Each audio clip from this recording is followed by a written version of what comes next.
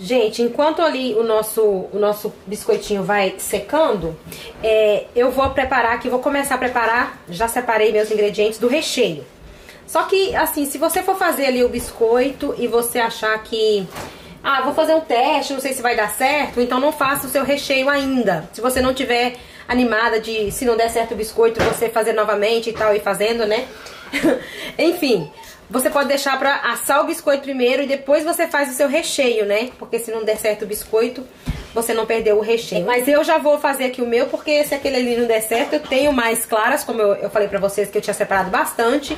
Então eu vou tentar novamente o biscoito. Mas também, se ficar um pouquinho é, deformado, o biscoitinho vai vai estar tá de boa, porque é pra nós mesmos. Por isso que eu já vou fazer aqui o meu recheio, porque eu não tô importando muito ali. Claro que eu quero que ele fique bonito, pra é, vocês verem assim bonitinho, perfeitinho, né, gente? Mas também vocês vão ver se não der certo. Ó, isso aqui é bem a gosto. Lembra que eu coloquei um pouquinho dessa especiaria aqui, dessa mistura, lá na massa. Então aqui eu vou colocar mais um pouquinho, mas com cautela, né? Antes de começar a bater ali, eu quero abater o nosso recheio, quero mostrar pra vocês aqui que, ó, não demorou nada e o nosso biscoito está pronto, gente, ó, seco.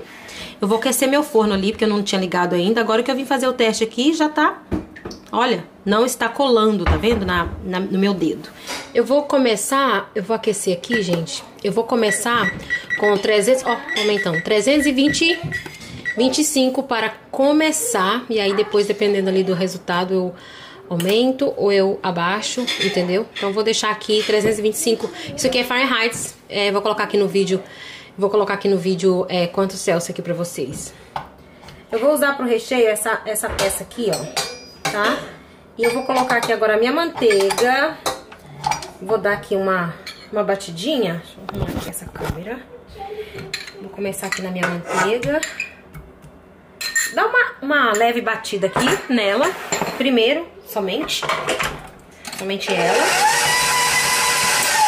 Temperatura ambiente, tá, gente? A minha manteiga está em temperatura ambiente, então ela tá bem macinha aqui um pouquinho a nossa manteiga. E agora nós vamos colocar o nosso purê de abóbora. E o meu tá bem sequinho, porque lembra que eu sequei, né, ali no forno. Então ele tá bem é, sequinho. Porque se você não fizer, ele fica com aquela aguinha, né? Então aqui no recheio é bom que ele esteja bem sequinho. O seu, se tiver um pouquinho é, com água, se você não tiver colocado no forno, no fogo, né, pra secar, você pode colocar ele num paninho é, e deixar escorrer, sabe? A água. Um pano assim mais... Seja fácil, né, gente? Passar o líquido. Acho que vai ser suficiente ali. Coloquei duas... Aqui, é, essa medida aqui é de colher de, de sopa. Coloquei bem cheia, duas. Vou raspar aqui, porque ficou bastante, olha.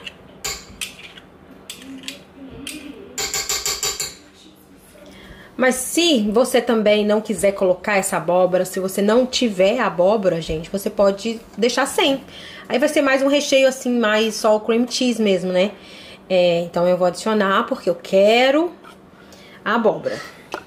Agora eu vou adicionar a nossa baunilha, que é a minha em pasta. E ela é bem forte. Vou dar um pinguinho aqui, que já é suficiente. Calma, jogando o prato na pia, minha gente. Que já ali tá o suficiente, gente. Vocês podem colocar aqui meia, meia colher de chá ou uma colherzinha de chá é, de essência, tá bom? E agora, mais um pouquinho das nossas das nossas especiarias aqui, da nossa misturinha. Mais um pouquinho. É, eu peguei muito, viu, gente? vou colocar aqui com cuidado, porque eu já tenho lá na massa. Aqui é um, um quarto de de colher de chá, mas eu não enchi, tá bom? Não enchi. Porque depois eu vou, eu vou experimentar aqui e aí eu coloco mais um pouquinho se eu achar que tá bem fraquinho, tá? Uma coisa que eu não fiz foi... Aqui é a minha açúcar de confeiteiro. Que eu não fiz é, é passar na peneira. E ela geralmente tem umas bolinhas, né?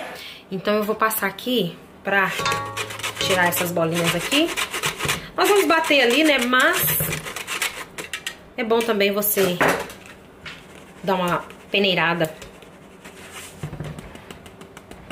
de volta aqui na batedeira. E aí nós vamos dar uma batidinha aqui de leve, porque não queremos açúcar, né?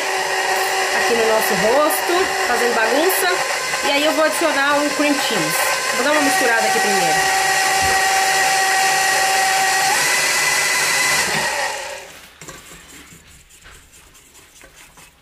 Tirar aqui das laterais.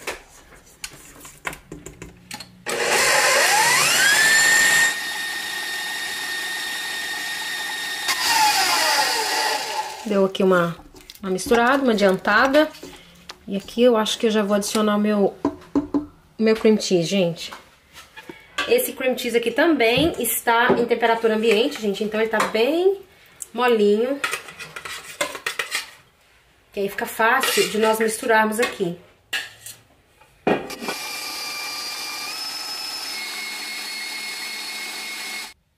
Tava mostrando aí pra vocês que eu troquei, porque quando eu coloquei o cream, o cream cheese, ficou um pouquinho pedaçudinho assim, e aí eu troquei, tá, gente? Porque eu acho que o outro vai, vai bater melhor ali, tá?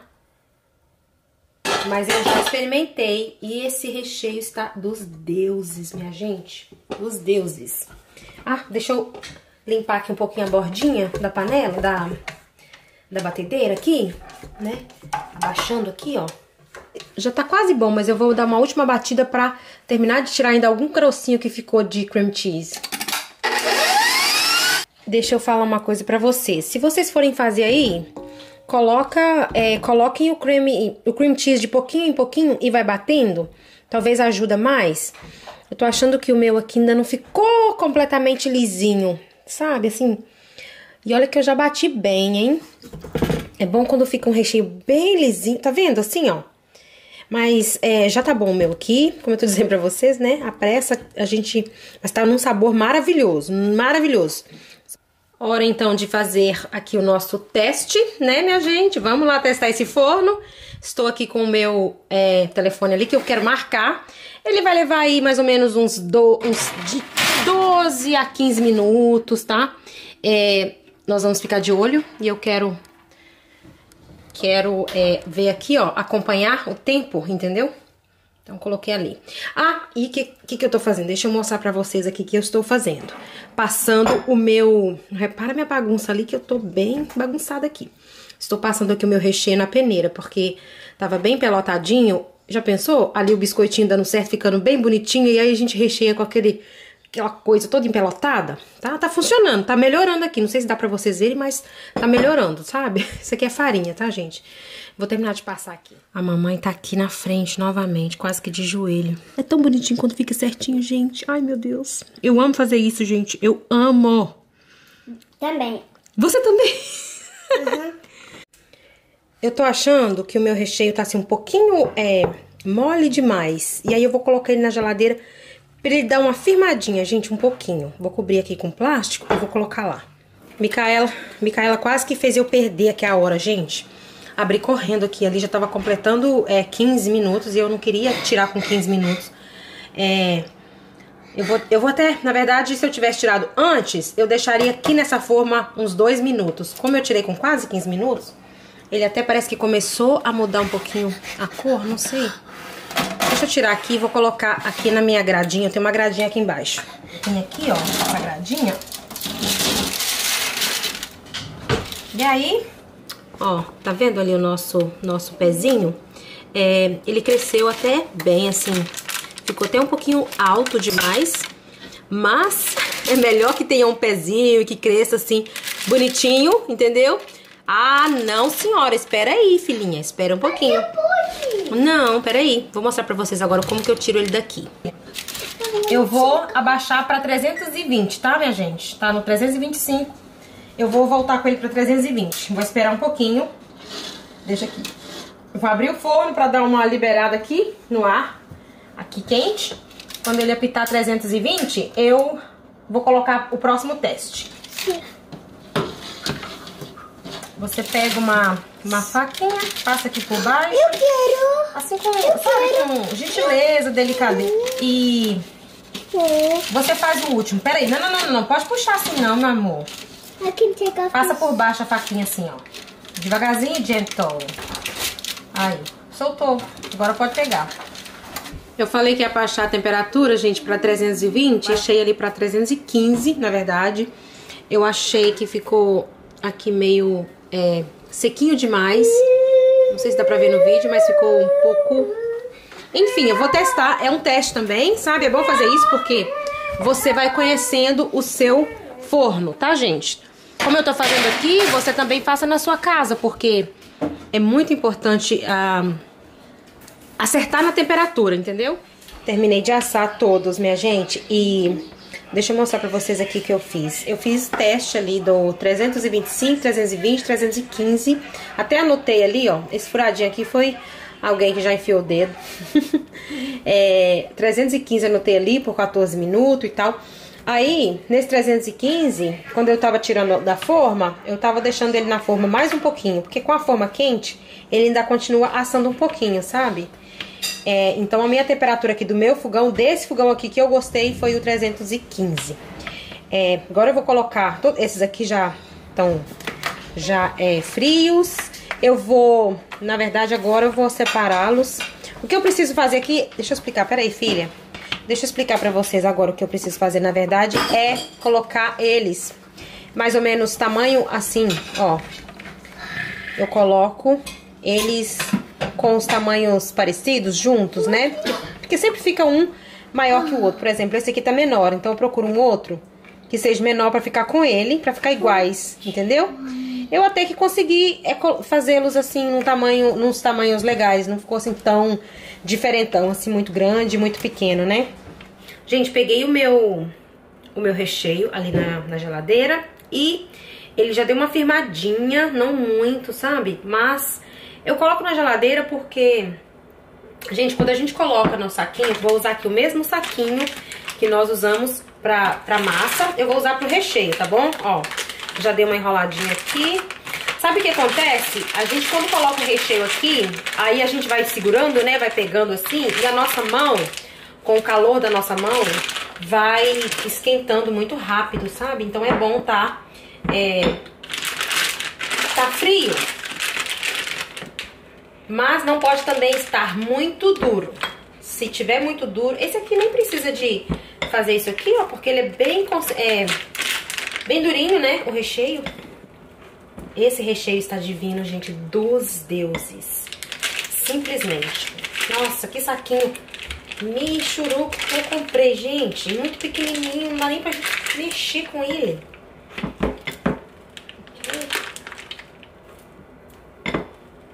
Paguei 4 dólares numa caixinha com...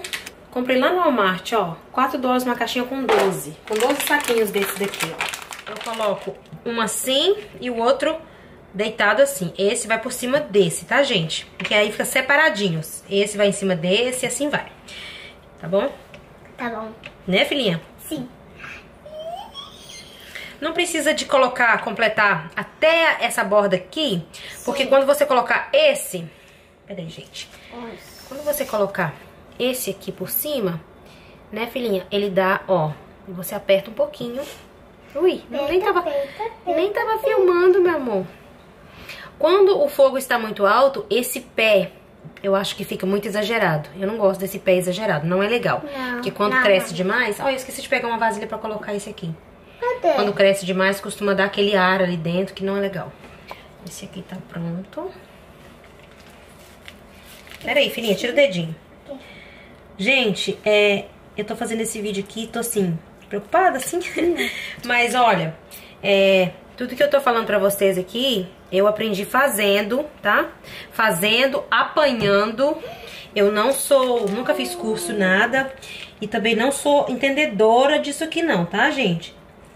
É, a gente vai fazendo e a gente vai aprendendo, né?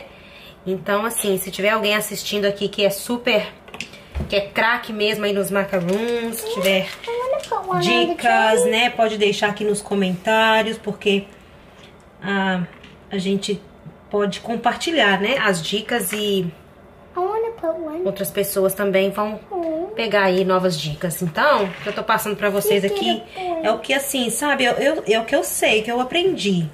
Já teve vezes assim de eu estar na frente do forno, chegar a chorar pedindo pra que para que eles assassem assim e ficassem bonitinho, que desse certo, porque eu tinha eu tinha entrega, sabe? Eu já vendi.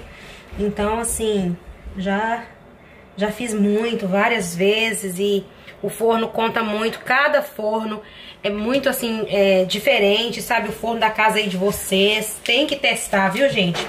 Então essa dica do pingar um pouquinho no papel toalha. Ó, Eu quero pôr. pingar, a Micaela tá até me desconcentrando. Pingar um pouquinho é, no papel manteiga e você ter a opção de, de testar ali. Não coloca uma forma lotada de uma vez não, tá bom? Asse poucos. Em temperaturas diferentes. O legal é você também ter um termômetro. Eu estava achando meu forno bem alto e eu estava sem termômetro. Então é legal se você tiver um termômetro, você pode medir o seu, a sua temperatura do seu forno. Filha, você tá na frente da luz, meu amor. Então, eu espero poder fazer outras vezes aqui com vocês, entendeu?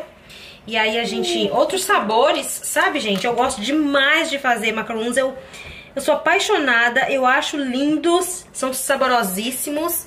E vocês sabem que os macarons a gente não come agora, viu, gente? A gente não come quando a gente recheia. Tem que levar é, pelo menos aí 24 horas de maturação, tá bom? Eles são durinhos agora. Se você morder... Aqui, ó, se eu morder em um agora, esse recheio até sai assim pelo lado, sabe? Porque é, ele tá novo. Aqui, o biscoitinho ainda tá seco, meio seco, sabe? Quando, quando ele fica... Não, filho, não pode tirar da, da ordem aqui da mamãe não, que senão a mamãe perde. Quando ele fica na geladeira é, por 24 horas, nesse tempo de maturação, esse recheio, gente, esse recheio aqui, ó, vai saborizar esta, o biscoitinho, apesar de que ele já é gostoso, tá? Ele é gostoso, mas assim, o recheio vai saborizá-lo e vai, é, aqui o pezinho aqui embaixo fica macio. Quando você morde, né, depois é, de 24 horas, quando você morde, quando você morde o biscoito, aqui tem uma casquinha que é um pouquinho crocante e lá dentro essas partes aqui assim já estão todas umedecidas pelo recheio. Ai, é a coisa mais maravilhosa isso aqui. Se você nunca comeu, olha, é muito saboroso, gente. E, e aí, outra coisa, tô aproveitando pra ir pingando aqui e conversando com vocês, porque, gente, é muita coisa, é muita informação, são, sabe, é, é várias coisas que precisa saber pra fazer esse biscoitinho.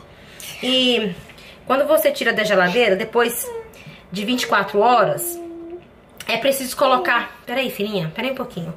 É preciso deixar os biscoitos é, chegar numa temperatura ambiente, tá bom? Pra comer. Você não come ele gelado assim que você tira da geladeira. Lógico que se você quiser, taca ali pau, como diz o coração, entendeu? O biscoito é seu, você que sabe, né, gente? Mas o ideal é você deixar ele ficar na temperatura ambiente, que aí você vai morder e ele vai estar tá macio. Quando você tira da geladeira, assim que você tira, ele tá assim ainda meio, meio, meio durinho, é... Então assim, ó, precisa, viu, gente? 24 horas aí, pelo menos, tá? E aí, esse daqui, eu nunca fiz esse sabor. Eu já fiz de cream cheese. Mas assim, com abóbora, essas, essas especiarias eu nunca fiz. Eu tô achando que vai ficar perfeito, porque eu coloquei aqui uma pitadinha das minhas especiarias e aqui mais um pouquinho. Gente, quando isso aqui tiver prontinho, que tiver já é, passado das 24 horas, eu acho que vai ficar um espetáculo, viu? De sabor. Né, meu amor? Quer pegar esse? Coloca lá então no cantinho. Bem devagarzinho. Aqui. Aí, pode ser aí. Obrigada. O último agora. Mãe. Eu fiz uma coisa errada aqui. Nos, nos dois últimos, a, a, mamãe foi lá e pá, recheou os dois. Micaela conversando comigo, então pode pegar um e comer. Vou deixar ela pegar um deles e comer. Desse aqui, ó, pode pegar.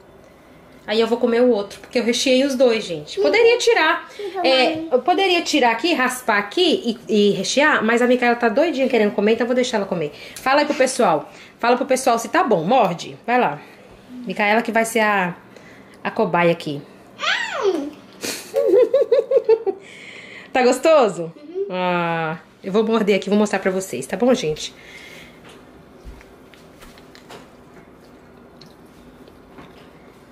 Ui, tá focando não. E meus macarrões não é perfeito não, viu, gente?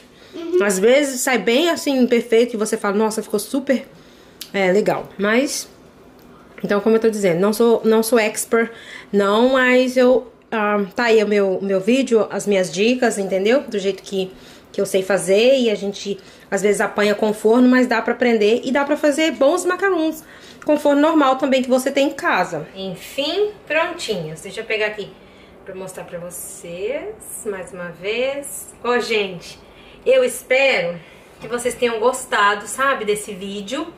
É, que vocês, sei lá, possam pegar aí umas dicas, entendeu? E se por um acaso vocês tentarem fazer na casa de vocês e não der certo, sair biscoitinho torto, sabe? Não der esse pezinho aqui todo, é, sei lá, flufuzinho assim.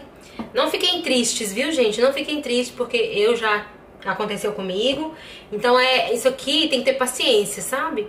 Tem que ter paciência, faz o que eu, eu disse pra vocês, a dica de, do teste ali de pingar um pouquinho assar, né? Façam essa dica. Pegam essa dica aí e ele é gostoso mesmo que esteja feio, tá bom? Ele é gostoso mesmo que esteja feio. Se você vai fazer pra vender, obviamente você faça várias vezes pra sua família aí que aí você vai aprender, vai pegar a manha, vai pegar a manha do fogão também. Muito bom você ter um termômetro, né?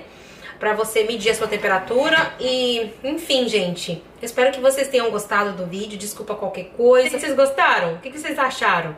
Vou guardar, vou passar aqui um papelzinho. Na verdade, eu acho que eu tenho uma outra vasilha ali que tem a tampa, sabe? Que é melhor ficar ali na geladeira tampadinho, bonitinho. E para nós degustarmos depois de 24 horas, né? Amanhã, amanhã de tarde, amanhã de noite. Enfim, gente, um super beijo pra vocês. Me contem nos comentários o que vocês acharam. E se você é expert em fazer aí os macarons franceses e tem outras dicas para deixar nos comentários aí é, pra, pra, né, outras pessoas, né? Por favor, compartilhe aí com a gente, né? Beijinho, até o próximo.